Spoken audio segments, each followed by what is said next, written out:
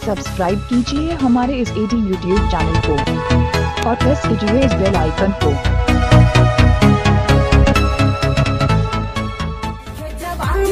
राजा जी मान के छोड़ा लिहाज तानी।